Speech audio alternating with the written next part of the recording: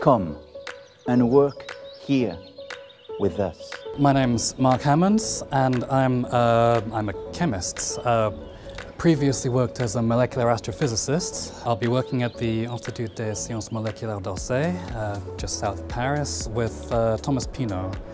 He's, uh, his research overlaps very well with mine. He's not only, not only got a background in astrophysics like me, but he also is recently branching out his work into climate and related things. The climate change problem, we've known about it a long time. I've been hearing about this since I was a child, but to date, no one's really made any sort of concrete effort towards fixing the problem.